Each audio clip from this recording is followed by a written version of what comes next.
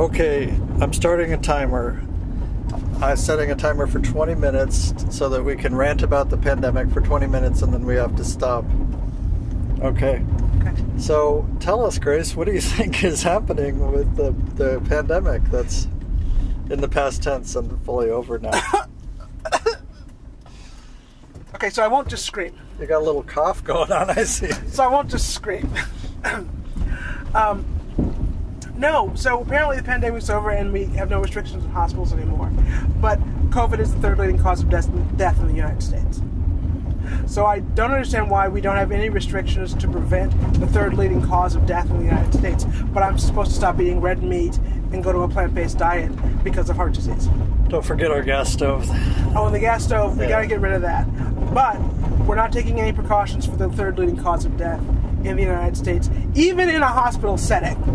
The thing I, I found yesterday, or read yesterday, that kind of, of stunned is the wrong word, but kind of like, you know, you think you're as jaded as you can get about this stuff, and then you're like, you look Wait. at it and you're like eyes Wait. go, what? They like double take is, um, all the so there's a long COVID study going on. Yes. In, a, I don't don't even remember which hospital. I'm sorry, I'm a bad uh, Bad researcher. researcher, but No footnotes. halfway through the study, all the all the medical staff studying the the uh, patients, working with the patients, Mm-hmm. suddenly went mask free. Yep. The patients all quit the study, Yeah, I'll quit the study. um, and like I know of two reasons why this is bad practice. Yep. One is you're going to infect the patients, right? Right. Or they're going to infect you Right. if they're reinfected. Or, or even if they have persistence that is Yeah, transmissible. right. And then the other is you've suddenly changed the parameters of the study. Yes. You've suddenly added a big confounding variable into the mix, which was not not present at all before, but it was minimized. Minimized. Right. Minimal. Which Yeah. is yeah, which is you're gonna have um, how do you say this? Non-sociocomic or no, no so whatever that word is. nosocomial infection. Nosocomial, that's right. Okay, sorry. Also, iatrogenic is another word. Right. Yeah. That one I can remember better. Nosocomial Or- infections, Or the, the, the, the easy update, hospital acquired hospital acquired. or healthcare acquired. Yeah, yeah. Infections, where you went for, because of your, you know, one thing or the same thing, and now you're worse. Oh, did you know that um, no, nosocomial, iatrogenic, HAA, um, HAI infections um, of COVID um, run a 10 to 12% risk of death? I had heard that. Yeah, isn't that interesting? It is interesting. So, like, so you're sick and you get COVID in a healthcare setting where you went to get care, and then now you have a 1 in 10 chance of dying. Did you know that um, a recent study showed that uh, people who had have long COVID now, Yeah, their COVID infection yeah. was was mild. They were never hospitalized Oh, for it. right. Yeah, that's a thing. It was a, a- and that's the case with with me. You Yep. know, Yep. so um, so this kind of buttresses my theory, basically, that um, somehow between reinfection and vaccination, you wind up having a less than stellar, Immune less than thorough immune response to an infection Yeah. and which either results in lingering effects or the immune damage results in all kinds of downstream degradations and inflammations and trigger pathways of, of things continuing to go on and, Well, and sensitize your body to you know And I have to say, it has been a minority report since 2020 that, um, so like you go to the hospital and you nearly die from COVID. right Um, the incidence of long COVID in that cohort is smaller than it is in people who had a very mild infection. Right. That was no different than a. Um, and really, I'm, for some people, it is no different than a cold. Their immune system does not mount an extraordinary response. they seem to clear the acute illness Yeah, completely. with, completely within a week or two, yeah, and then months later they will have a long. They'll start experiencing long COVID. yeah. That's exactly what. That's the higher incidence case, Yeah. and we've had that as a minority report since 2020. I- But it does make me wonder what the mechanism is. So if you're like in a hospital bed, you Yeah. know, on a ventilator or not or whatever, you're you're actually forced to rest a lot, right? Yes, sure.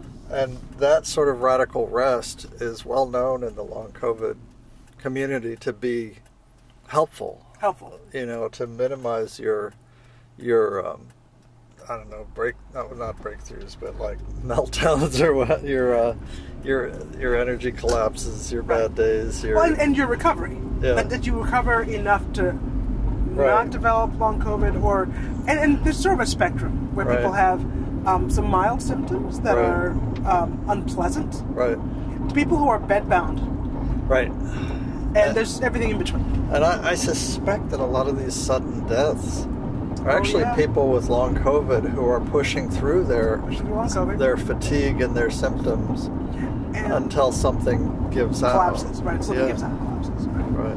And then I think there's also this thing where people are trying to, um, and I feel like it's, I feel like some of this comes from a legitimate and good place, where people want to be very careful to say that long COVID is this and not that. Yeah. For my part, since we actually don't understand what we're looking at, except in the context of long SARS from 2003, Yeah. uh, where there are a constellation of related illnesses, right, that follow on from your acute infection. I think we really need to start thinking about long uh, 1918. Well, we'll get to that. We'll get to Yeah. that. But um, and what we find when we do that is the the way that all these things that seem disparate are related is actually not the blood clots. It's actually not you know this or that. What is actually what actually connects them all appears, and I don't know this yet. We don't have good data to this effect yet, but it appears to be persistent infection. Yes. That appears to be what connects everything that's happening in long COVID. Uh, and uh, it might present as blood clots. It might Yeah. present as a stroke. It might present as a psychotic break. It might present as um, persistent fatigue. It might pre- present as all uh, Yeah, loss of smell, yeah. ongoing ongoing loss of smell. It might present as ongoing fevers. a pretty terrifying thing that I've read is long COVID is associated with your body beginning, your, your brain tissue beginning to accumulate Lewy bodies, Yeah, which Lewy body dementia. creates something called, yeah, exactly, Lewy body dementia, which is one of a variety of types of dementia that are available to you now at no charge. and this can start to be triggered. This is associated with aging. It's not an inevitable consequence of aging. I think all of us know, or at least should know, someone who made it to uh, quite a ripe old age without Alzheimer's, without you know vascular dementia, without these various. uh, So. Oh, absolutely. I, I, you know, So, but it is so common in aging that it's like people just think, oh well, oh, it's just, it's getting older. you it's know. inevitable. But I don't think I- it needs to be. It doesn't. It doesn't need to be. And I don't think it actually is inevitable. Right? Yeah, yeah, But um, but yes, all these things that appear to be disparate are seem to be connected by persistent infection, and that seems so. Instead of trying to like say, okay, this is like post-COVID psychosis, this is post-COVID vascular the other damage, thing. and so on. The other thing, other thing, and yeah. talk about these as if they are unrelated, when in fact they appear, they really appear to be related by persistent infection. I'm not. You can actually address all of them medically by curing the persistent infection or by reducing the persistent because actually we haven't cured AIDS. Yeah. We have reduced infe- the infection level to a point where you're not symptomatic. Well, the same thing with hepatitis, right? Right. We get the viral count down so low that it's not detectable. It's, no, or- it's not detectable, and it's not, and you're not, and importantly, you're not symptomatic because the symptoms are what kill you. right? Yes. Yeah. So, um, Interesting. Because I hadn't that's heard. the thing. I, I'm not sure that I've been 100% ready to go there. I believe that you know the infection can start like a cascade of all these these you know positive feedback loops that, that cause all this damage, like vascular damage. But I hadn't seen really convincing evidence that there's always persistent infection. Well, the reason you haven't seen the evidence for that is that we only collect the data On autopsy. on autopsies or one like on a third of living people or on autopsies. Mm-hmm. That's the only time we're collecting that data. I think if we had the data, the evidence would already be there. It's possible. I just I hadn't. But Yeah, I You mean, but it, it, it that's that suggests treatments. You know. Exa- exactly. And I think the other thing, so I think it's somewhat well meaning to. This is where I think it's well meaning. If you are a cardiologist and you can't address post COVID psychosis, but you can address vascular damage, maybe you just want to talk about that and what you actually know. And I think that's reasonable. But I think the broader thing that, and this is the public health failure, and I'm going to be very, very clear when I say failure. I'm convinced at this point that public health is failing on purpose. Yeah, it's being made to fail. It's being made to fail. But if we understand what public health is supposed to do, it is failing in every regard at its job. yeah. I- it's every single, every single regard. every single way. In every single way, these people should no longer have jobs because apparently there's no reason for them to exist. They, they, There's nothing for them to all do. All they ever decide to do is It's nothing. nothing. Because there's nothing to do about anything. Right. Right. Now, the other piece of this, though, is that um, while it's well meaning to say I'm a cardiologist, I can address cardiolog- cardiolog- Cardi- cardiological problems. Um, cardiac problems. cardiac problems, that's rational. That's appropriate. I get that. But upstream public health needs to look at this and say, you know, we have all these excess deaths, and you know, they're connected in this way from this data. And you know what? Maybe if we treated persistent infection, we could reduce this whole swaths of deaths. Not just Yeah. psychosis, not just Yeah. cardiac, not just strokes, not just uh, um, PEM and uh, what PEMS, im- PEMS yeah. and im- uh, POTS and Yeah. MECFS. Not just that, but all of that. And similarly, there's a case to be made. How shall I say? If you look broadly, MECFS appears to be an extremely common viral, post-viral Yes. syndrome. Yeah. And right? not, not remotely limited to COVID. not remotely limited to COVID, and it seems to affect women more because of dramatic hormone shifts. Right? So the the it, it's linked. It's linked somewhat to hormone changes. Right. And so women are consistently medically gaslighted. Yep. So, and this occurs in that population, so we ignore it as a thing. Okay? But as we look more, as we dig more, as we see more broadly, what we discover is that if you know what this person is, uh, the persistent illness this person is struggling with, then you can treat it. And the people who seem to get lucky, if you dig on all those got lucky and cured cases, Yeah. like, and, and people will always be like, oh, you know, I took this vitamin, it cured me. Oh, I started yoga, it cured me. Or whatever it is Yeah. um, what when you dig, if you dig, you always find there was some immune modulation that caused them to clear viral persistence every single time. So, um, given that, it looks like we could be 20 or 30 years ahead of this problem if we look at it holistically rather than pulling it apart by body system. Saying if we if we over all these years wasted, if we had come to a really good hmm. understanding of MECFS and treatments for it, That's true. yeah.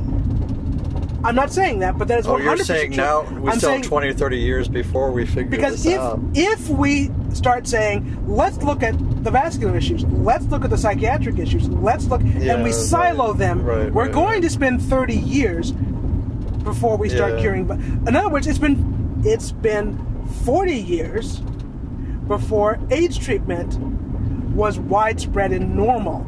It's been available for more than 20. Yeah. So it took like 20, 25 years for these treatments to be available, but for it to be widespread and completely normalized that you, you so in other words, you're in the health system, you uh, test positive for AIDS for some other reason because it's it's really quite Yeah. It's quite normalized to test you at many intervals. So you're in the health system, you test positive for AIDS, you can begin treatment, and etc.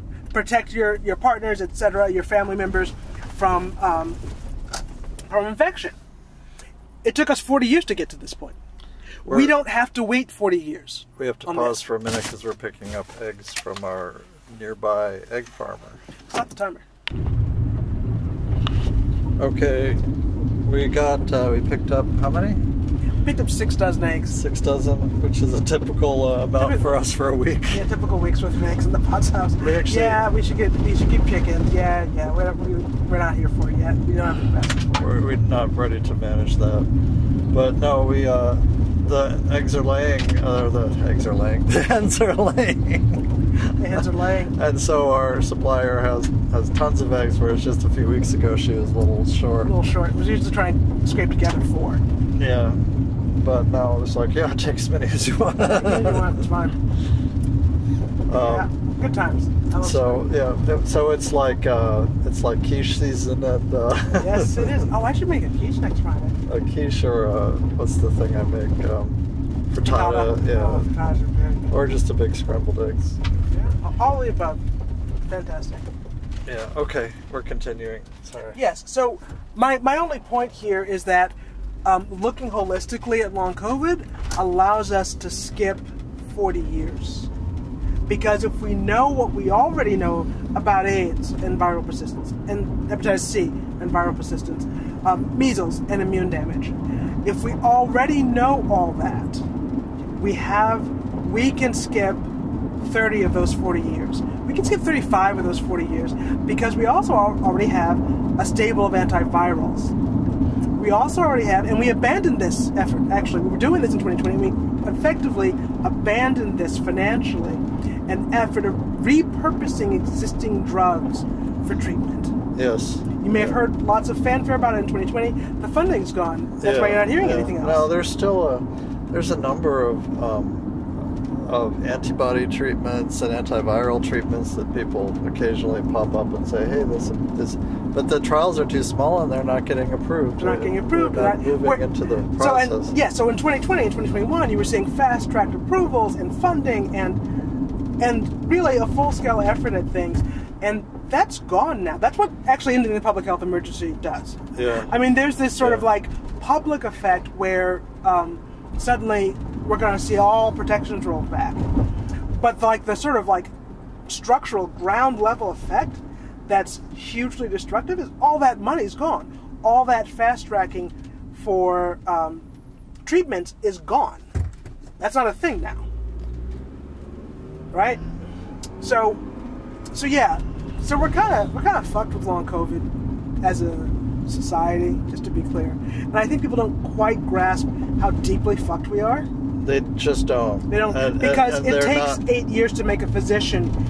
Long COVID can destroy a physician in six weeks. Yeah, they're not seeing it. They're not seeing it all around them. Right. and they're not Somehow- seeing and they're not seeing it in themselves because basically they have absorbed the narrative that it's not a thing. Well, and and also that narrative is built on huge amounts of experience. Lyme wasn't real for decades. Right, Lyme disease was right, not real. right. It was in your head. And yes, it's true. There's a psychiatric symptom for advanced Lyme disease. Yep. Absolutely true. But Um, it doesn't mean you treat Lyme disease via cognitive behavioral, therapy. That's not the way you treat Lyme disease because I that's mean, that, not gonna work. That's like, you know what? It has a role. You can help people with the trauma they've experienced Experience. trying to get medical treatment. yes, there's a role, but yeah, but that is curing it is not the role. But that's not. So, um, so we also have this long history, and actually, what you were describing just a bit ago about Parkinson's in the Yes. 1918 pandemic, where oh, Parkinson's is just genetic. Actually, that's an outcome that's widespread in the population because of the 1918 pandemic. We were talking about how my grandfather and possibly a lot of other people who have passed now, you know, but late in life had Parkinson's and heart disease, and that wasn't an inevitable part of aging. And in many cases, those could have been related to their exposure to the uh, to the 1918 pandemic. Right. Yeah. Because we don't have, there is no framework for connecting your viral illness to later sequelae. sequelae, yeah. Yeah, there's no, no one does that. So, like, people are sick with COVID in April, and then in May, they have a psychiatric event. They don't connect those two experiences. In my case, it was um, infection in early January of last year, and then the, the long COVID uh, fatigue really, really started hitting In me in March. March, right? And I was never sick. That's But you were never that sick. never So, symptomatic to speak of, you know. it is normal to not connect those two events. Yeah. It's complete. So people like they get sick with COVID. Two months later, they are sick constantly. They don't connect those two events. Yeah. Uh, I, I want to wade into. Uh, we actually hit our timer, hit our but, timer, I, but I don't really. more. I don't really care. I just wanted to try and encourage us to move to, to But now we Like- just kind of got started. So Yes, but to get something down in the recorder while we're running this errand, because this is, you know, This is I. I realize it's loud in the background because we're in the car, this is, but this we is our got. quiet time. This is our quiet time. Yeah, because you know our home is chaos and a fun kind of chaos mostly, but chaos. Okay. Um, but I, I want to. We talked about a little bit about how. Um, also, I have to think my way into my topic. Like I didn't write notes, right? So, but um, how you know we were doing all this research into treatments, into antivirals and, and antibody treatments and whatnot, um, and that's largely been defunded and not pursued. But the other aspect of that is we're now on a single vaccine train, right? And we're we're that keeps on rolling. That train's going to keep rolling. Um, you know, and it is the mRNA technology, and in it, it, and it's really just Pfizer. It's really just Pfizer. And um, At least, at least around here, it's just Pfizer. yeah, around here it's just Pfizer. But and the thing is, no one is willing to acknowledge that you know. I mean, you can be you can be pro vaccines in general and still acknowledge that you know what as a vaccine goes this vaccine isn't working all that well Not worry about it. if I mean, here's what I mean by that. If you need a, a quarterly dose, a shot, to prevent the worst side effects, the, the worst acute effects of infection, right? but it does really nothing to ultimately help you completely clear the virus and completely avoid Long COVID. long COVID, that's not a very good vaccine. And we need to look at the history of vaccines and say, historically, it's been very rare to have a vaccine that was developed and worked really well right off the bat, right? No, that's not a thing. It's not a thing. It takes years to get it right. And in the case of like influenza, we never do quite get it right. It's, you know, an ongoing thing Right. because the virus mutates so quickly, accumulates mutations so rapidly that you have to just sort of take a roll the dice and take a best guess as to what strains need to be in the in the uh, your shots Correct. and even and if you get it right then you've alleviated a fair number of severe influenza cases Great. but if you especially in the elderly and you know very young very old etc or but if you don't get it right which they often don't it doesn't really help much Yeah.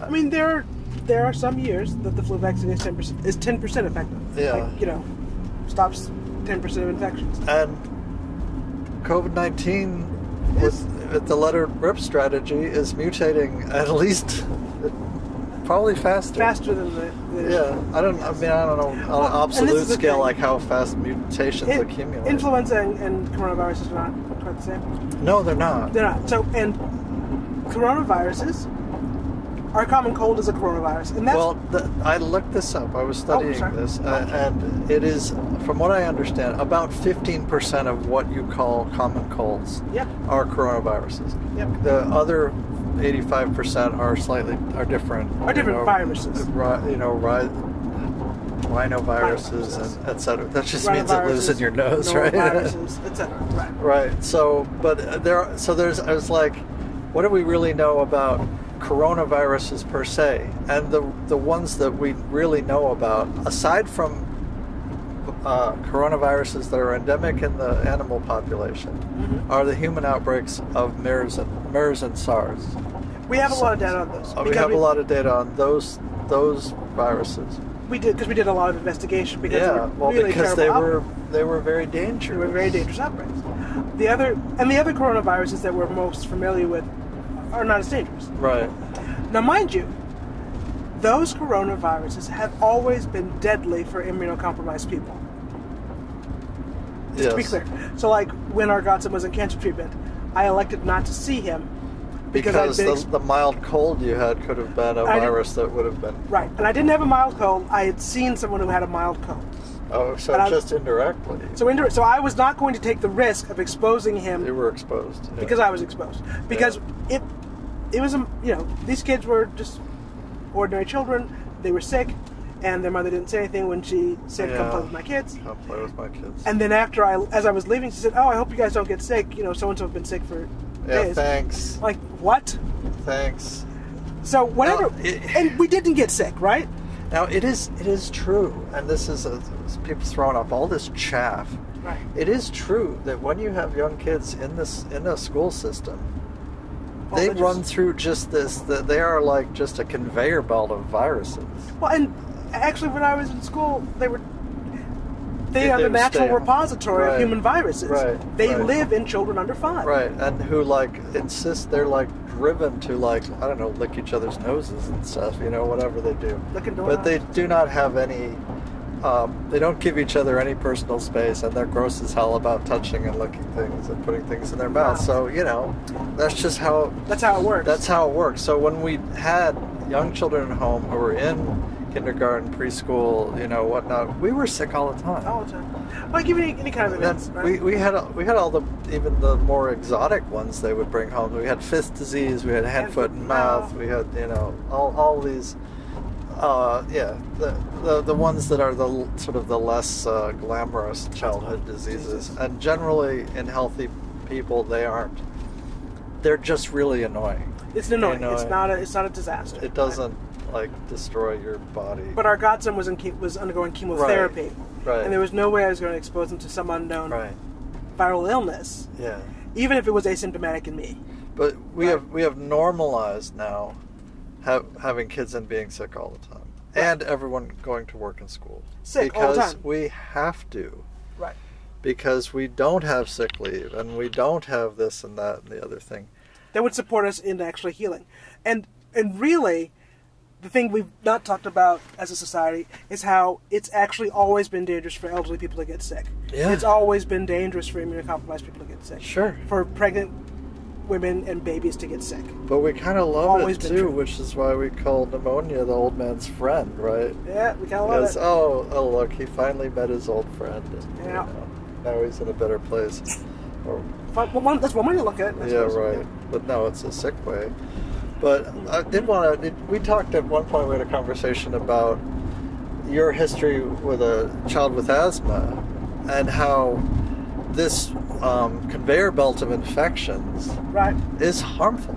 Right. It's absolutely harmful. Is not just trivial. It's Right. not a trivial. I mean, when we had hand, foot, and mouth disease, I stayed home from work for a couple days. We sort of isolated. And we all were itchy and had like had these, you know, Just lump, we, what do they call welts, Welts. or wheals or what? hives, welts, On, on our hands and everything, faces. our and- hands, our feet, and our mouths. yeah, right. And and that was really annoying, but no one needed to go to the ER and everyone recovered as far as we could tell completely. But some of these respiratory viruses, especially if you're prone from a, to asthma from a young age, they are actually dangerous to you. Yes. And they having infections over and over again makes your asthma worse and makes you more susceptible to more severe asthma attacks, right? Right. And what I actually found was that so like so his first year in school as an asthmatic, full time school. Previously he went to a Montessori school with um, you would call them now very careful infection uh, controls. What they were in class was um, Montessori practical life. Yeah, well, Right. because Maria Montessori came from a world that still had traditional wisdom about how to prevent, you know, infections Infection spreading illness, through right? school. right? And so this was these were very practical norms where part of your education was washing up, washing yourself, yeah. cleanliness, disposing properly of a tissue, etc. And so he went three days a week for like three hours, Yeah, and um, was relatively well and healthy in that experience. didn't have tr- asthma triggers coming from that experience. constantly, right? Yeah. But he went for like what a year or two, three days a week. No, first two days a week and three days a week, three hours. And then the next year was kindergarten. Yep. And when he went to kindergarten, he was sick as frequently as he was well. I mean, literally. Yeah, half so half off. he was half off. So like he would have a, a, a good week where he was well, and then he'd be sick for a week. And he'd be back well, sick for a week.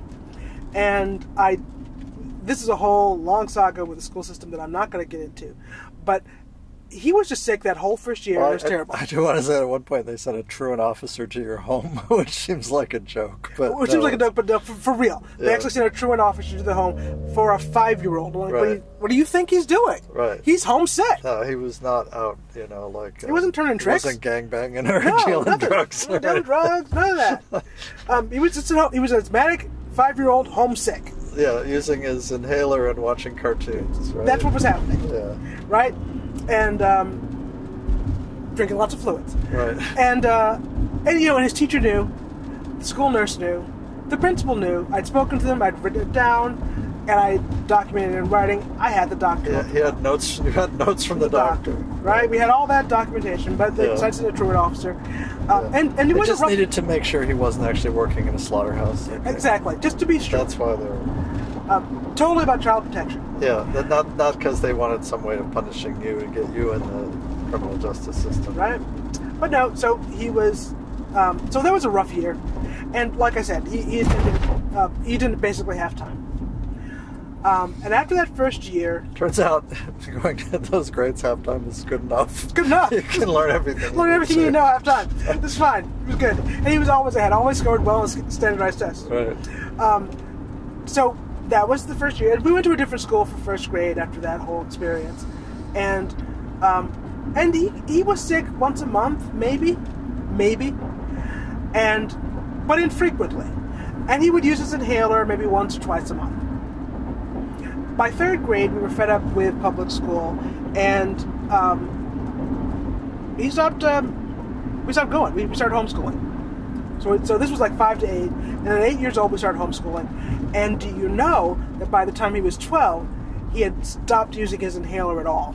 Yeah. yeah. And by the time he was eighteen, he hadn't used his inhaler in, in five years, I- five six years. No, I, I knew I had friends in college who came in as freshmen with asthma mm-hmm. and brought you their know, inhaler and medications and their nebulizers and whatnot. Mm-hmm. And after a year or two of being in a more adult situation where people Aren't sharing viruses as a matter of course. quite as quite as readily. Not that people were masked in classrooms or whatnot, but that they lived. You know, they weren't all uh, on the playground together. You know, or whatever. They licking each other's noses and whatnot. As one does. That that you know that they that he that. I think also there is a tendency to outgrow childhood asthma, but Well, and I think the outgrowing is moving out of certain viral this, this stage of chronic with reinfection. chronic reinfection, right? Yeah. So it's because as soon as that was gone from his life in eight, by the time he was twelve, he wasn't using it. By the time he was eighteen, he didn't use it, Yeah. right? Yeah. So that's part of his medical record and should always be attended to and always be understood to be a risk factor for him. So he's still. But it, yeah, but it was no longer a defining feature of his life. Right. Yeah, I had, and I, I have a, a genetic condition called alpha one antitrypsin deficiency. I have a mild version of it, which is called like an insufficiency rather than a zero level. Right. But it does, I think, put me at a higher risk for infection. And during childhood, I had chronic bronchitis and was often out. Like I don't know, I recall at least three or four times I was out with bronchitis hmm and quite sick. I do- I remember having to get suppositories for uh, for uh, fever reduction. You know, like, all this stuff, and then Suppositories that you could remember? Wow. what? Suppositories that you remembered? No, I remember that experience having to get suppositories as a as a as a young child. Yeah, I'm, I'm just shocked that you remember that, I far re- back. Oh, uh, yes. Usually, when you get to Oh no, I, well, you don't have to get suppositories. Oh no, you're not I old was, enough to remember. This was I was like because I couldn't keep anything down. Oh, I was like I don't know eight, or nine or something. and you couldn't. Oh, you kept vomiting. Uh, that's the Yeah, other reason. right, yes, you right, can't- Yes, right. yeah. Got it. Sorry, Right. No, not because I was a baby. baby. I'm like, wow, you remember when you were like nine months No, old? no, no, no, no, no. They they use them in older kids who can't. Who can't stomach anything? Yeah. Yes, got it. Right. So, um, from coughing, you know. Oh, right. So anyway, that was fun.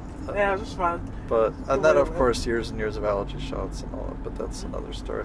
But yeah, um, so I do know a little bit about what it was like to be chronically sick, hmm and um, it's not fun at all. And we should stop doing it as a matter of course, and we should stop normalizing it and saying, "Oh, this is just normal," and they're just. Uh, and we should stop valorizing it. That's like, well, like it's valorized as like tough or healthful. that it That it's actually healthful. well, that it actually is every time you do this you're strengthening your immune system Right. Which is actually just that's a recent like uh, disinformation campaign, now right? It's the only sense that it's true in is that some components of your immune system develop memory and so if they see the same infection again they can fight it off more readily and earlier Right.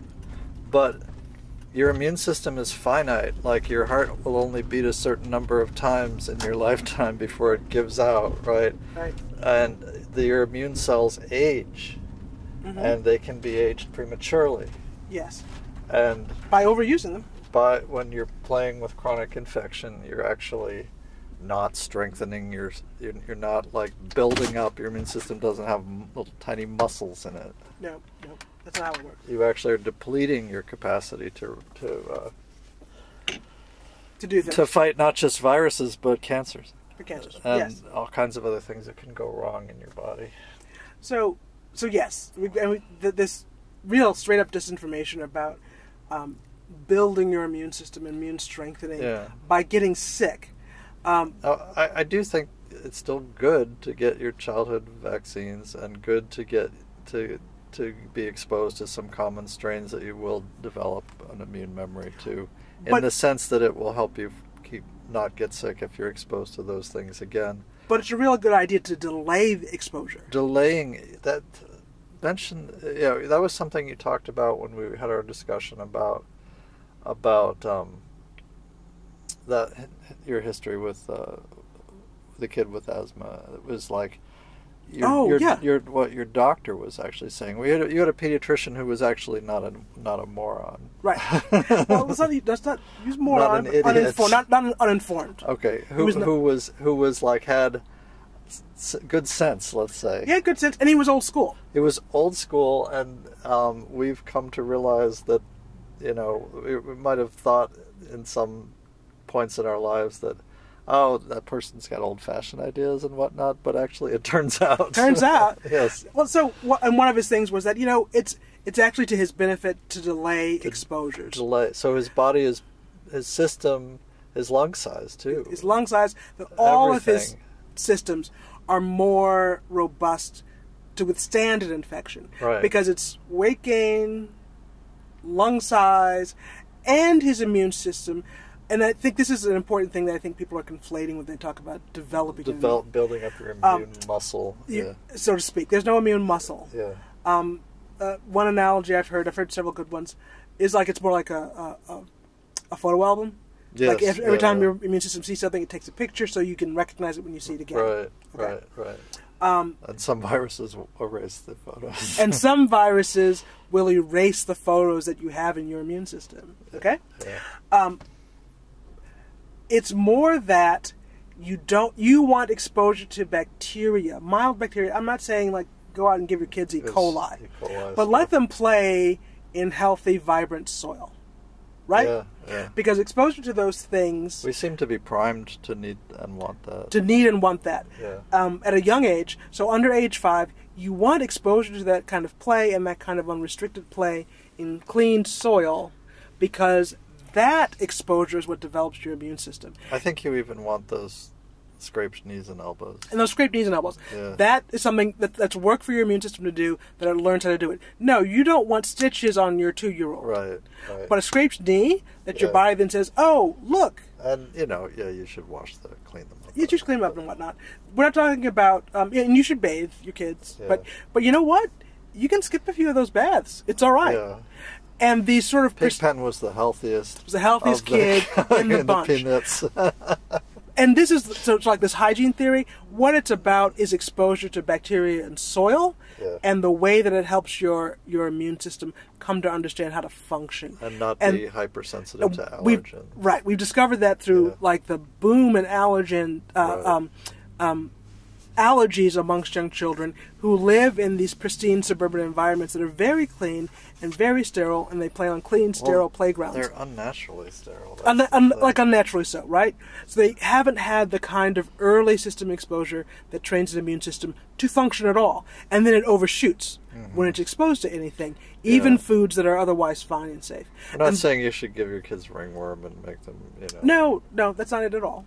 But just like ordinary play in healthy soil is the function that develops your immune system, is what we've seemed to have discovered. Yeah. And um, and really that that's what's informing a lot of current allergy therapy, where they slowly introduce and acclimate your immune system to an allergen, so that your body can tolerate it. Mm-hmm. Okay.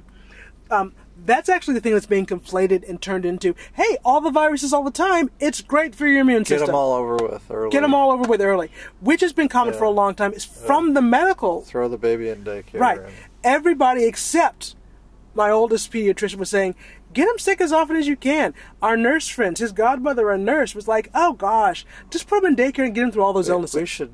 I mean, we hear so often from nurses saying uninformed things that we should keep in mind that nurses often spout off beyond their level of training. You know. level of training and expertise, Yeah. right? And they are speaking from their experiences, but understand the perspective is not. Uh, the perspective of our experiences is limited, Yeah. right?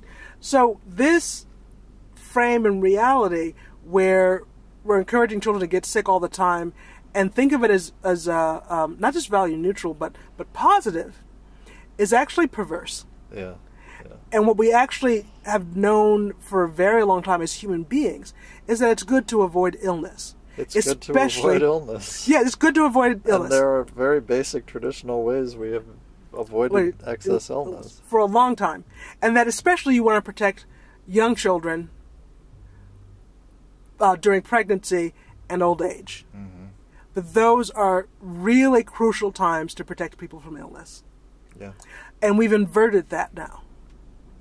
That there are no protections necessary for those groups because they have what I, I'm thinking of is like this sort of almost magical myth of extraordinary ability. Mm-hmm. Like um, pregnancy is a disability, but it's extraordinary. Your body has extraordinary, you know, Your like mythical powers, superpowers. You can, if you're, if uh, you know, you come across a kid who's been run over by a car when you're pregnant, you'll be able to pick up the car and pull the kid. pull to kids safety. safety, right? Right, and, which Yeah, I is remember reading something like that, yes, right? crazy and stories like that. I don't want to denigrate or dismiss the the raw and awesome power of creating a human being with your body. Yeah, 3D printer. It's ex- it is it is absolutely extraordinary. Original 3D printer. and and, and really there there is a certain magic to it, and it is It is an it is- extraordinary thing. It is humbling to to uh, to watch. So I don't mean to dismiss that, but we also can't like um, um, throw away the lived experience of millennia of human beings. That this is also a fragile time in a person's life Yeah, for for both parties. It's an extremely fragile time. right. Um, Yes. So um, we're gonna take a break, I think, and then then you need to talk about exercise. Exercise, yeah. Yeah. We're gonna we're gonna take a break. Um, we're here to pick up our GFS Next food. So here we are. Be back in a few minutes. Oh, Okay, this is for the for our permanent record. six pounds of orecchiette pasta, three lo- loaves of seedless rye for backup bread. We make bread, but we don't always keep up with it. Uh, three loaves, uh, three uh, loaves of pita bread, not, not loaves, three bags. Um, six pounds of penne pasta, six pounds of spaghetti pasta, six pounds of fusilli pasta. Kids eat a lot of pasta. Um, couple racks of purified water and this just bottled water in small bottles. And the reason for that is that um, I learned the hard way that watering houseplants on our softened water will slowly kill them. Yep. They accumulate too much salt in the we- soil. We almost lost a Hoya, didn't we? We almost lost a Hoya that I've had for over 30 years. And it was decades old when you got it. Yeah. Well, I mean, it's cuttings of cuttings of cuttings. of, right? Yeah. Right. So, um, uh, but yeah, fortunately, I salvaged most of it and divided it, and now I've got a couple big Hoyas again. Um, but yeah, that was a that was a concern. Um, also, almost lost a, uh wandering Jew. Is that can I say wandering Jew? That's all I can recall. should should there is there sure some politically correct name I should be referring to the um uh anyway of that I got from my mom that that almost killed too although that's now been divided again and I have that in a growing in a couple pots from the part that didn't die but it took me a while to figure out what was wrong with it right um nine cans of crushed tomatoes um, they are limiting how much Koeze peanut butter you can buy so we only got one jar of crunchy and one jar of creamy Koeze peanut butter, which is our favorite peanut butter. And then two uh, cans of tuna. It's like that's not a lot of tuna. These are these are thirty ounce cans. It's huge. like they're they're like food service cans. yeah, they're food service cans. So, um, uh, and yeah, we'll get more next week, right? Yeah. Hey, they make a great uh, tuna casserole. you know? Yeah, uh, and tuna salad. Um, then uh, six cans, six 30 ounce cans of of refried beans and six 30 ounce cans of black beans. And that's how you spend $237 for Mhm. staples. For, For the basics. staple We're not getting fun food. It's not. It's not that the fun exciting. food is next, but it's not that Yeah. exciting, and it's only like 30 dollars. right, like the the snacks, the snacky snacks, like the chips for movie night. No, that's a very small part of our food budget. We do we do spend some on it. Right. That, Well, and although you know what, I, I don't think I, I'm, I think it is an extravagance to get the chocolate that we get, we but I also think it's base it's food. right. It's it's a cooking ingredient for decent food. We get some very nice um, chocolate from what is- I was not Ghirardelli. It's um, Guittard. Guittard chocolate, which we have to mail order, and uh, we've been stocking up on that. And basically, while it's still cool enough to ship, Mhm. and that will be basically our that'll be a six month supply of Right. of chocolate for cooking, for baking, for eating. yeah. Um, yeah, we got we got some reading. Mostly, it's like baking and it's and baking. cooking chocolate. Yeah. Because you know you know you can make a nice mole with chocolate. You make a great chili with chocolate. You, Well, it's that- not just candy. So this was the bill for GFS for this co- coming week. Well, my week starts on Friday, right? Oddly, because of my pay cycle and the way my employer works, is Friday is the first day of the week, anyway. So, our, our like, uh, uh, so we, we organize our grocery budget on a Friday through Friday Yes. basis. Um, and we also did a pickup from Sam's Club earlier today. Uh, we got a huge bag of broccoli and uh, th- 40 pounds of potatoes, Yes. 40, and some stew meat. And we're making chili for Pippin's birthday. Yes. So, That's a request. so that's ongoing today also as well.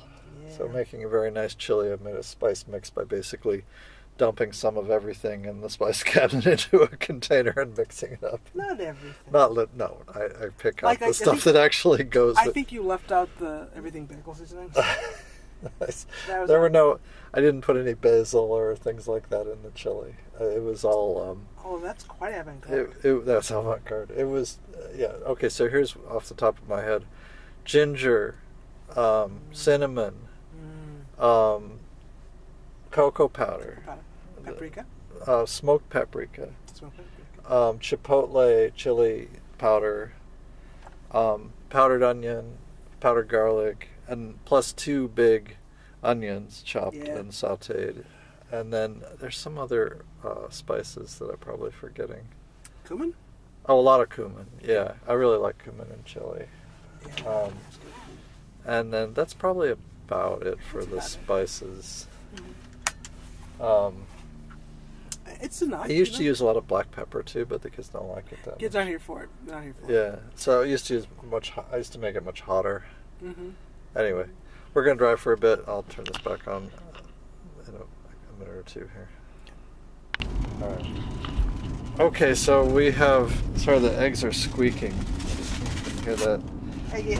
The, the as we drive around on Michigan's finest roads, finest. smooth as glass, beautifully maintained. Um, Magnificent. our uh, our eggs are bouncing just enough for the uh, the curtains to be rubbing together and go squeaky squeaky squeaky. Drives me crazy. Um, but yeah, oh, I, I have to briefly say, t- uh, anyone who's following my newsletter knows that we lost a whole bunch of appliances in a power spike, Mhm. power surge during uh, ice storm. Uh, and then our power was out for several days, right? Two, not even 48 hours. It was just under 48 hours, yeah. right? But um, a lot of we were we actually got off pretty easy as far as how long it was out Right. because it's been worse. We've had longer outages. Well, it's not a week, but yeah. We've had 72 hour outages, Yeah. um, and a lot of people in in the Ann Arbor area um, had outages of a week or longer. Yes. And then they got the power back on, and there was another storm, and they immediately lost, Lost power, power again. again. Right. Yes. It's fun, fun, fun. Infrastructure week is coming any day now. Yeah. But um, the uh, what it did cost us is a number of our appliances were fried by these wild spikes where we saw things just arcing and blowing Right. and smoking. Like uh, air in our house was sm- filled with the smell of burnt electrical components. Right. It was. It was a little surreal because we were seeing these huge flashes outside, and the flashes were from the transformers shorting and wires shorting and arcing. Um, Yeah. So, right in the easement next to our house, and I think also down the street, and then also on the. So it was on three sides. Like Yep. we were seeing these, and hearing them too. So and the, uh, I think that the. Um, the LED bulbs in the ceiling fan. This is like a sealed light unit in our family room. Actually, blew up inside the unit. So, I tempted to take it apart when we uh, get that thing down to see what I can find out. Yeah. Um, but anyway, the we we have all these appliances, uh, including um, a refrigerator, including a dishwasher, including a laser printer, including a stereo receiver, and all that that are that died, including UPS and and some less expensive things like a coffee maker and uh, a water kettle, Mm-hmm. all fried that day, um, that minute Yeah. Like it was just as, as soon just as a minute, yeah. And um, we had an appliance repair guy out to look at the refrigerator and dishwasher, and basically said it would be five hundred dollars per appliance to replace the control panels just to see if they could be brought back to life again. Right. And that wouldn't, you know, guarantee. There was no guarantee. There's no guarantee that they could be brought back to life. So a thousand bucks to see if they could work. I was like, okay, well, so same thing with the laser printer. I actually called a repair shop that specializes in repairing HP laser printers and asked them about this model and what happened, and they said, don't bother. Don't bother. It costs five hundred and forty dollars, right? The printer, uh, but and it's not worth repairing. That's right. surreal. The dishwasher Like, costs This is what we do. twelve hundred dollars. This is what we do. right? And it's not worth repairing. I, I don't know that we didn't pay pay for the fridge, but it was a nice fridge, I'm sure, at one point. Yeah. Um, so anyway, we did get a payout from our insurance company to cover this loss, to cover this replacement cost, Mhm. uh, and then our car immediately needed some very expensive work. Basically, Wah, the wah, struts, wah. front struts, finally gave out completely, and the transmission was failing. So, it, it- as things go, it seems like the transmission problem was just some wiring, and that was corroded through, and not anything else. Yep. And so, just re- re- replacing that corroded wiring fixed the transmission problem. And the struts are great. It's now driving much better. Um, Yeah. but yeah. that that ate half our appliance repair money. so we have a sad. Yeah, it was sad. Anyway, we're cheering ourselves up by going through a drive-through to get some greasy food. Greasy food. So I'm gonna uh, I'm gonna pause this again. That's why I didn't really want to start because I have to keep pausing. It's But okay. I'm gonna pause this again, and when we come back, we'll for sure talk about long COVID and exercise For reals this for time. real this time. But yeah, gonna- it's because of the constant interruptions. I can't get my head into the topic. But we'll be back. Okay, All right. we've had a snack. You Yep. were saying, are we this old couple now that goes through a drive-through and gets the meal deal and then sits in the parking lot and splits it? Yes. And or Yes, not, we technically we aren't because we didn't get the soda. But that's actually the only reason we aren't. we got chicken fingers, a small chicken fingers, and a small fries. This is not really a full meal. This is a snack because we probably will actually be having dinner pretty late. Um, because we we did get this chili started. Uh, it's now we. Um. Yeah, while Grace was running an errand this morning, the f- first couple errands, I browned onions and got the spice mix going and all that. And then when she brought the meat back, she uh, sautéed the meat. We got I got all the tomatoes and what beans from the basement, and uh, we got everything into the the, the slow cooker. Right.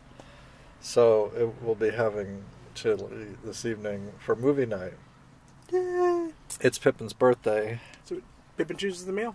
Pippin chose um, baked potatoes, roasted broccoli, Mashed potatoes. oh, mashed potatoes, Roasted broccoli. and chili. and chili. So they actually will put their chili over the potatoes, which you know it's kind of a Potts thing to do now. It's It is, traditional, Traditional plastic. Mash, mash, and chili. but it's reminiscent because I, when we lived in Saginaw, I used to make chili at least at once a week, Yeah. and um, but we had quite a few fewer kids. Kids.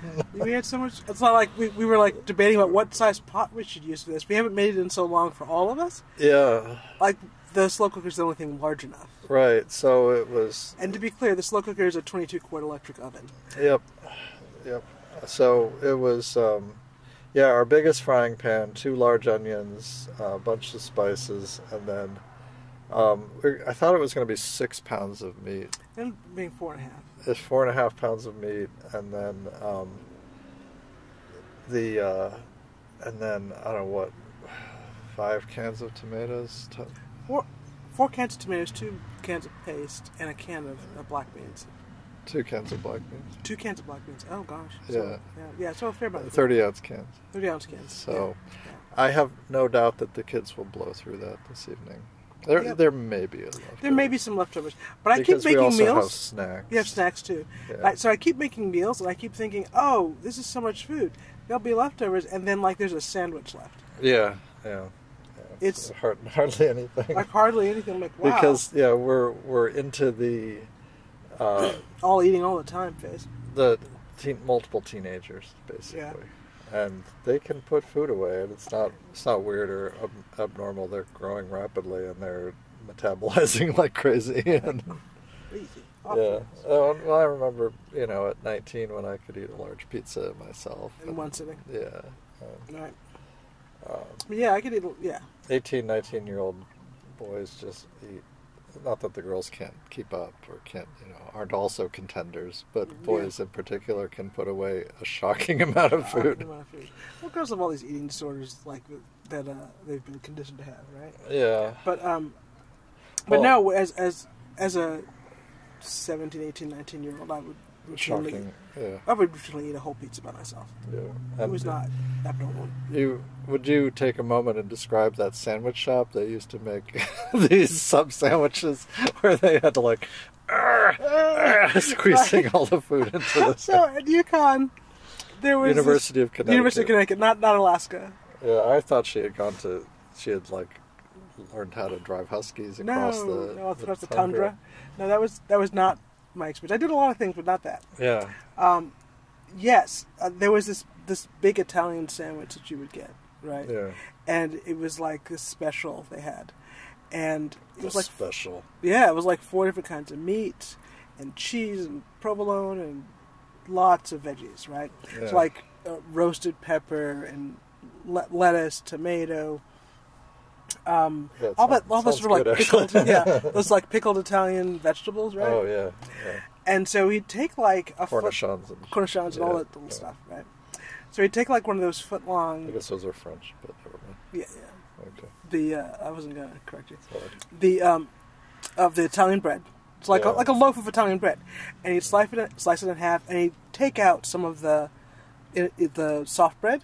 So he had mostly just like the crusty bread, Mm, but not all of it. There was a little some, and then he'd like layer it all up, Yeah. layer it all up, and then and he was kind of a short guy, and he was kind of behind the counter, and I'd see him put like all of his weight, Try like to close it. try to close this sandwich, like he'd be, I need to like push like three or four, push, and push, and like a little grunt, and then like tie and like press the press uh, with pressure the the wrapper around make- it. making a panini. Like right, like, Yeah. but there was no heat involved, Okay, right? right. Like, and he would just like wrap it tight to get this whole thing to hold together and everything to stay inside the sandwich, and then like he'd wrap it a second time and slice it and would kind of like burst, out the end. At the end. Yeah, right. And um, it. Oh my gosh! So my brother Ben and I would split one of these for lunch. That's how big it was. So my brother Ben was like six five. He was He was, huge he was man. a large guy. He was a big guy. Yeah, And- he, and- could- he could eat. and he could eat. Yeah. And I don't mean like like big fat. Just like he had a lot. He needed a lot of calories to keep a lot of muscle right, right. function. No, he was he was very very muscular guy. yes. Like, And he, he was built like a football linebacker. Yes, built like a linebacker, and um, looked like Denzel. The Yes. uh, um, and and I was you know a fairly typical eighteen year old five foot three girl, and um, Well, but except you were a student athlete. I was a student athlete. I was on the rowing team every morning, Fairly elite student. athlete. and uh, and so this was enough food for the two of us. Yeah. That's how big and how calorie dense this this sandwich was. So we'd get one of those. Bless our hearts for three seventy nine. Good God. It was three dollars seventy nine well, it's And we'd split one we, for We forget how much the value of money has changed because that's what old people do. But, That's what old people do. But um, but it sounds so shockingly cheap now. But, yes, and but, you know, we were like, you know, we'd get the money out of the ashtray. Yeah. right? and we'd My- away my- sandwiches. In 1990, my lunches at work were two fifty nine cent bean burritos from Taco Bell, right? So Yep. that was a, a, a decent lunch for me with a, uh, I don't know, I guess I'd get a water or something, not usually soda, but, uh, I don't know, they, or, or they, there was a little place uh, that would sell me like a tuna croissant sandwich that was really nice. Mhm. Um, with, um, I guess it's probably a dollar fifty or something $1.50. like that. Yeah, this was like 1991. Yeah. Yeah. So yeah, it was an expensive sandwich. It was almost four bucks. Yes. right. Right. End. Yeah. Well, okay. So we've had our snack, and um, I fed the kids um, oatmeal. I made a big pot of oatmeal. When I say a big pot, I mean I mean like uh, what, eight, four cups of Four cups of oatmeal, oatmeal. six, four cups of oatmeal at least. Uh, And Is it is it urgent? Someone just called me. one of the kids is calling. What's that? Probably having an argument they want us to settle. Oh, is she dirty? Uh, it's a diaper emergency. I'm gonna pause. It sounds sounds like one of the kids, one of the babies, has decided that no moss with the diapers. No moss. She's just refusing to wear, No diaper time. Nope, we're not doing diapers. refusing to, literally refusing to wear a diaper. Not putting that on. I should mention none of that neither of the babies are potty trained in the slightest yet. Yes. They won't sit on the potty. Yep. So like, okay, this is gonna end badly. It's very bad. and I, you know, I may get a point out to fight with my kids about things. yeah. Okay. so we've but not fought about in a in a little while, we before too long we'll need to get. Uh, We'll have to have some kind of reckoning. yeah. Yep. Okay. Not looking forward to that This moment, is but a it's, new, like a- completely refusing diapers. And Yeah. new, new, new behavior. New behavior. Yeah. So you know, maybe this is a reckoning. We'll, s- we'll see. Maybe she's saying she wants to be potty trained now. Hmm. So we should invite her to sit on the potty again. We've got a little nice little seat, a nice little small seat that folds down for the. Yes, we do. All right, so shouldn't worry about falling in. Nothing like that. Nope. Yeah. And a little step stool so her feet can reach down. yeah. hmm Okay. So uh, anyway, parenting is at age fifty and fifty-five.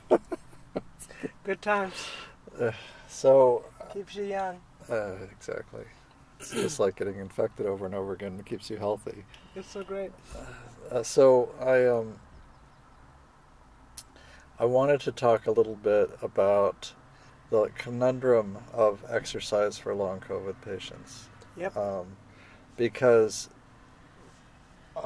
there's actually a, a TV show, and I think it's in Ireland that they're doing a clinic where they're trying to like it's a reality show where they're trying. This team of doctors is working with a long COVID patient and trying to get him to exercise and Mhm. doing exercise stress tests and whatnot and Mhm. insisting that this will help him and ev- and he's every time he has a total crash Total crash every time. Right. uh, and this is the there are conditions in which exercising is helpful this Oh, is sure. not one of This them is not one of them. A- and if you're have ME CFS or POTS, either the POTS is uh, postural orthostatic uh, Tachycardia syndrome. tachycardia, where your heart rate goes crazy uh, when you stand and sit and you know change your your Position. positioning. Um, and ME is what Well, I can remember. myelitis or Y- yes.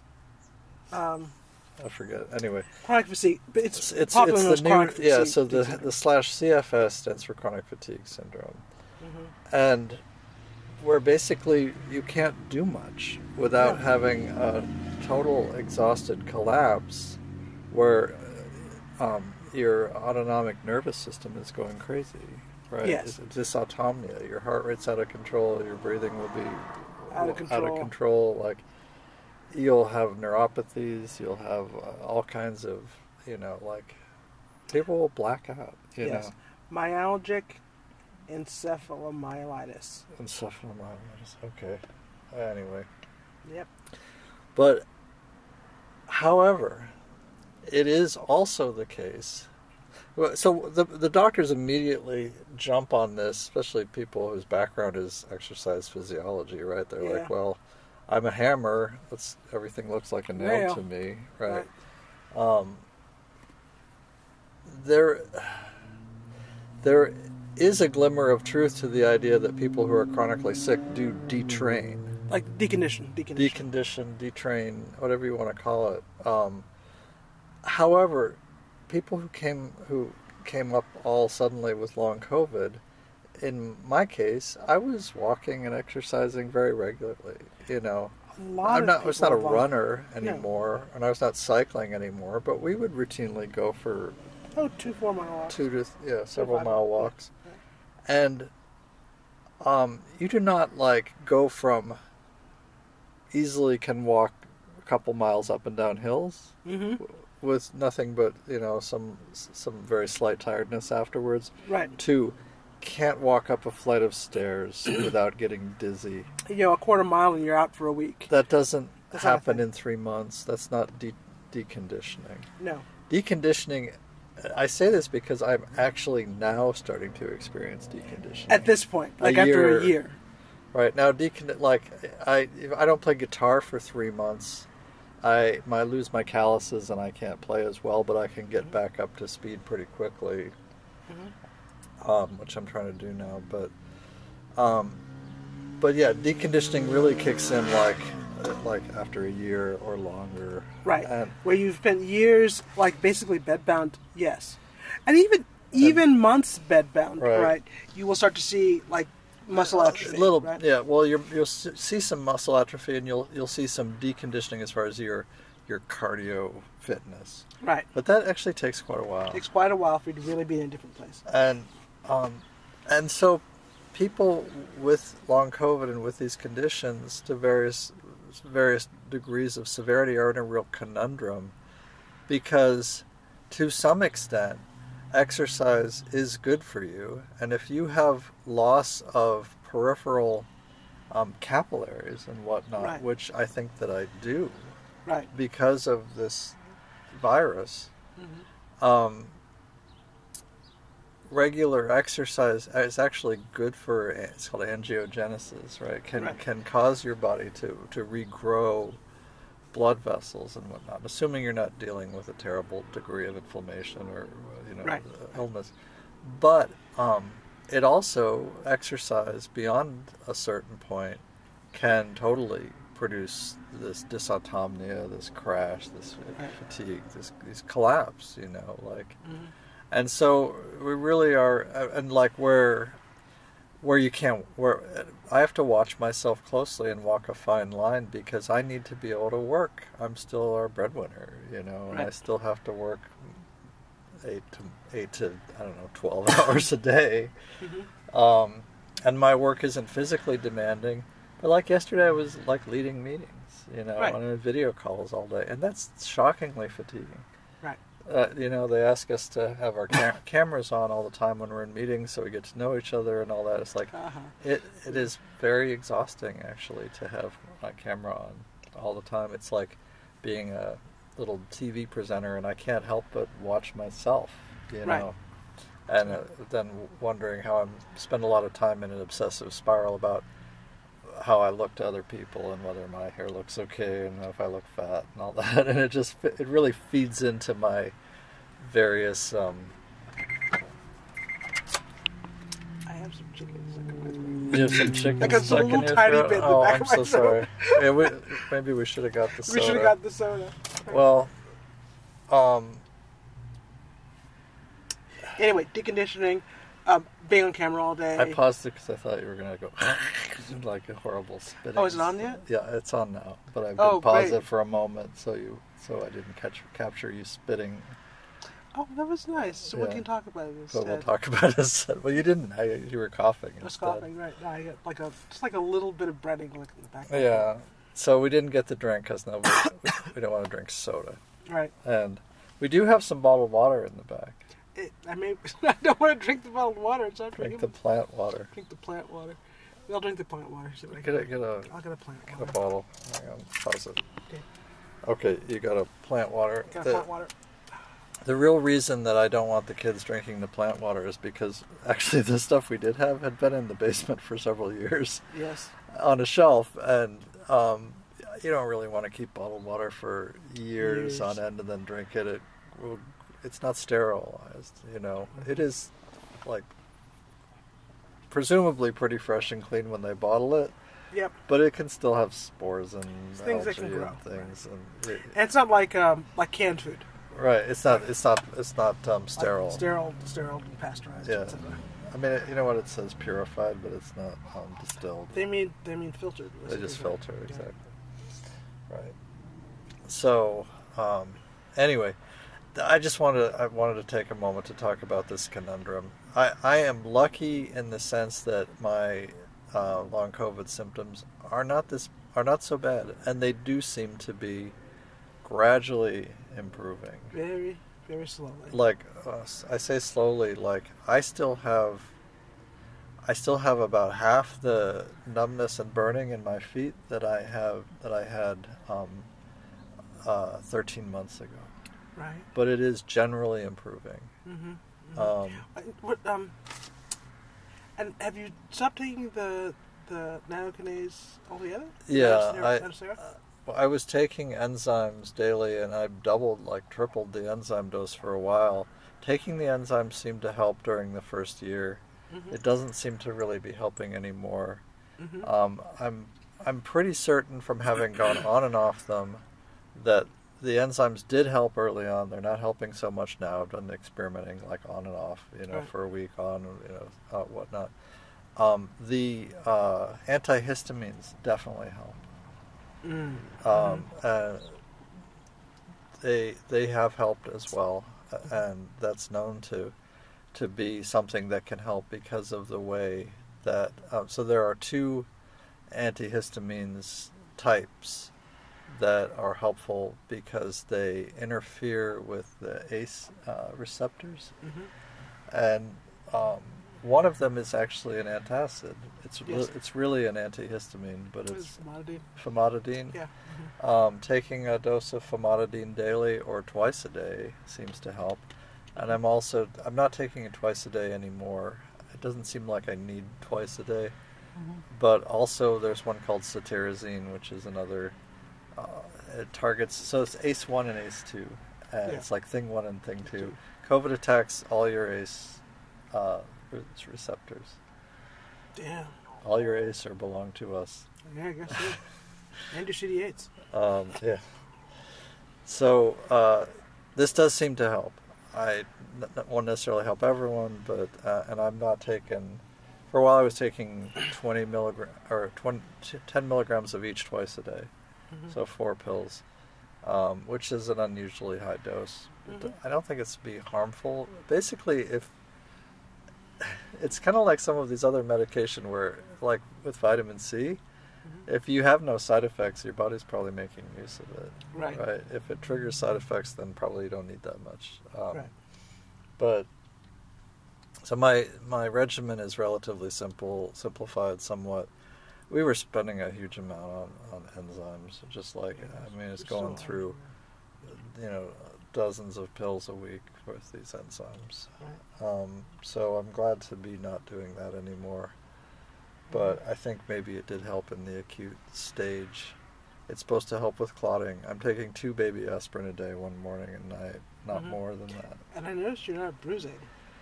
Oh yeah, when I I used to take baby aspirin just prophylactically because it's supposed to help with heart health. And I, w- And when when- I took it, I would always wind up bruised Bruising. all So over you stopped taking it On my bruised. hands and arms, I'd get bruises. You're just bruising. But that doesn't happen now. Yep. Um, it's, and I'm taking twice as much as I used to. So, Right. So I guess your body's using it. I, maybe. Uh, so, but this is supposed to lower your clotting r- risk, Mm-hmm. and um, you know, COVID fucks up your clotting factors and clotting cascade, and you know, if you start studying this, you realize that like clotting in the body is this incredibly complex Yes. system. It seems so straightforward. You scrape your knee, Yeah, blood clots, and no, you, there's so many different fat clotting factors and, and cascades of chemicals that are involved. It's really, it's this is why people go to medical school. You know, it's like they learn the Krebs cycle long enough to pass the exam, and they learn like about That's clotting. right. Anyway, But exercise is a damned if you do and damned if you don't it is. situation. It is. Right. But if I, if, so one of the things we're considering is, uh, and trying is, you and I both go out, and um, we say, okay, we're going to work in the garden for thirty minutes Yep. and no more. That's it. Like doing moderate work, like be- hauling rocks, bending and right. weeding and stuff like that, which does involve moving around, and we can't do nothing. Because this like physical movement is really important to keeping my joints functional So, and spine and Some and, and so I know there's like this sort of fitness, health thing, which is, and and I I have to say a lot of it does really seem pathological, right? yeah Um, but it's also true that there are all these sort of holistic things that have significant health impacts that we ignore. Your diet matters. yeah Your movement matters. right Um, the clean air matters. Clean water matters. Yeah. Right? And um, yes that's real. That is true. But mind you, I'm not trying to say that if you eat the right herbs, you'll you can cure your cancer No, no, by no, no. by doing yoga and taking the right herbs and No, this foods, etc. these these supplements I'm taking for this for this stuff. This is a band aid. This is a band-aid, right? This isn't a cure. This, This, is, just, just like trying to reduce my symptoms to a bearable level. right, and hopefully interrupt some of the internal damage that's happening. Right. Uh, But we don't really know. A lot of this, people get pretty far down the the road of lung damage and capillary damage and never feeling a thing. don't feel anything. Right. Don't feel anything at all. So before they, so by the time you feel something and you go to the doctor, and By the time you're short of breath, you've lost like s- Uh, you significant know, amount of lung half capacity. your lung capacity. right? But um, so I don't want to just, so I don't want to, um, um, how shall I say, evoke that whole thing where, oh gosh, you know, just do some yoga and eat, you know, No, no, no, no. Get rid of I, I'm not right? saying that. and I don't think you're saying that, and I want to be clear, we're yeah, not saying no. that. What, what I'm, I guess, what I'm saying is that I have found it helpful to do what exercise I can. Yes, with for a very strict definition of can, yes, right, and sometimes quite limited, Mhm. but like doing what movement I can, I can without a crash or whatnot without having right. makes me feel better.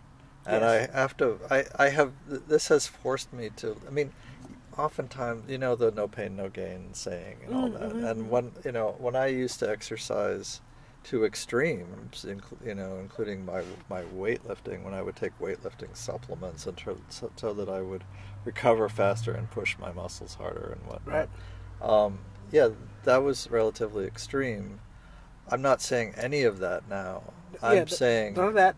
We're talking back then I was kind of programmed myself to ignore all the signals my body was sending and Right. interpret the pain as a positive sign.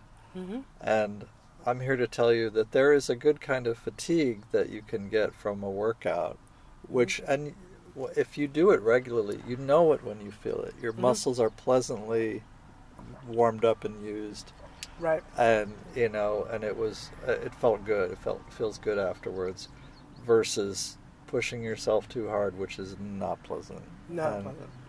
and i've had to really learn how to focus very closely on the more subtle signs and symptoms my body is sending me as to like you should go downstairs and build a bookshelf You do that. or like you, you can rearrange these books you can do this stuff you can do some light labor in the basement some light work today. It'll feel good. it'll feel good and it does but if you push it too much you're going to be shit in the morning tomorrow's morning meeting. You'll be staring into space. You won't be able to think. You'll be barely had a terrible time waking up you Right. know.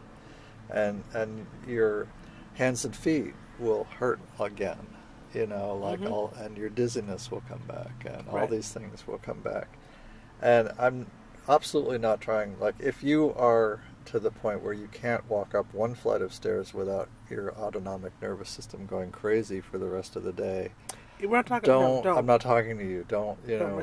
Do It's the, re- the do the resting, but listen very closely to the signs uh, and like if you can figure out how to walk that line where you get like just enough exercise to get some improvement, Some benefit.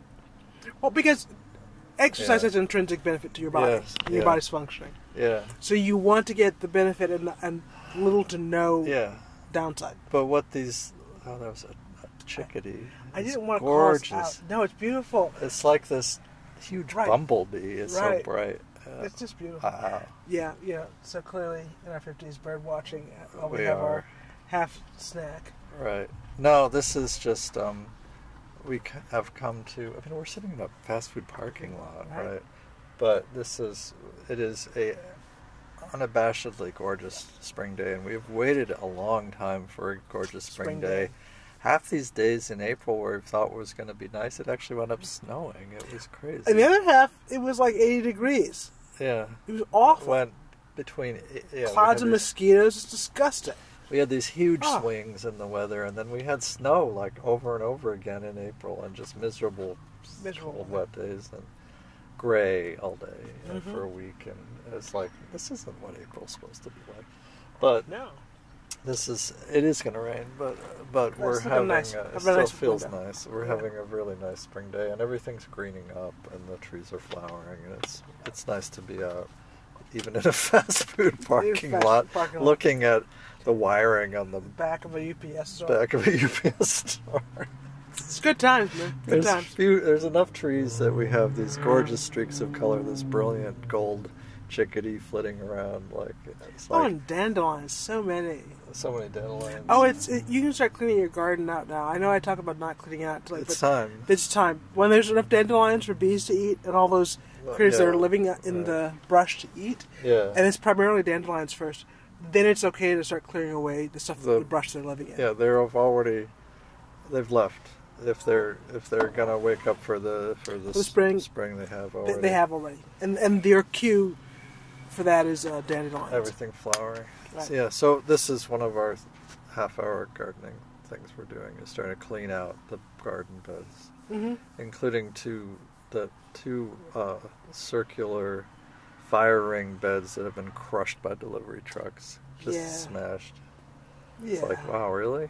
Like you managed to back completely out of the driveway across ten feet of grass and crush the, and crush a garden bed. Yep. Well, well done. Yeah, you know. We Everyone's can't complain Best. too much because They're bringing us their food. We don't. we need deliveries more than we used to. Yep. We rely more heavily on that kind of thing now, especially while the car was not Oh functioning. yeah. Okay. Um, how I, I can never wind things up. I think everyone these up. I think that's. I think that's the advice on exercise along COVID.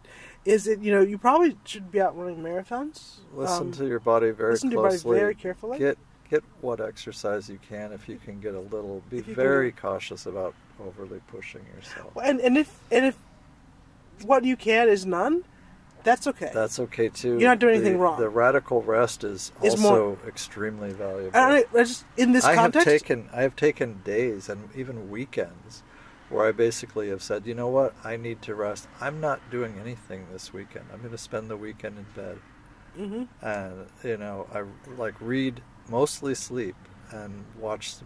Honestly, on a weekend like that, if I find that I am able to sleep all day, it probably means I needed to sleep, Need to all, sleep all day. day. Yeah. Because normally I can't. You know, I just I, I just lie there. I can't sleep. I, want to emphasize though that in this context, the rest is more important than the exercise. The rest And- is more. The recovery is more. More is the important, most important. most important thing. Yeah. And uh, and I think the thing to recognize in our society is that rest is actually the most important thing that we get, that we need. and Right. it's it's Makes the everything least else possible. valued. It's least valued, and it's the most important thing Yeah. for making anything else happen. Yeah. Right. Yeah. I only improve on guitar on the days that I'm not playing. Yes. Hey, folks, we are doing a very brief follow up clip because when we were out yesterday running around, uh, I actually ran out of space on the memory of my recorder. Boop. But we got everything out that we really had to say, and the only thing we actually missed was saying goodbye. So goodbye. Till so, next time. bye.